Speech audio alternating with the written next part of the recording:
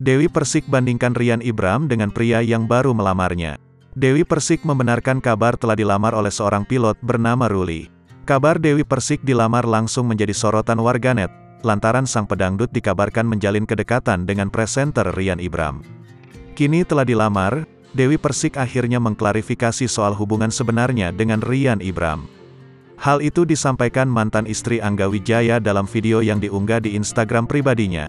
Dewi Persik 9, Selasa, tanggal 7 Februari tahun 2023.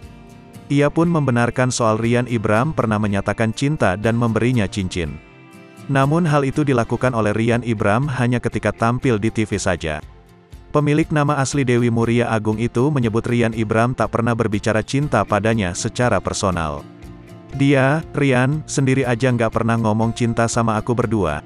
Ngomongnya cuma di TV aja, ujar Dewi Persik dalam siaran langsung.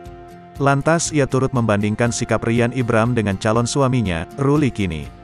Diketahui, Ruli memang langsung menyatakan cinta di hadapan ibunda Dewi Persik, Sri Muna. Bahkan Ruli, dikatakan Dewi Persik, langsung melamar dan mengungkapkan keinginan menikah. Abis itu dia nggak pernah ngomong berdua, aku pingin serius sama kamu, nggak kayak Mas Ruli. Lanjutnya. Wanita yang akrab disapa DP itu mengakui dirinya susah jatuh cinta.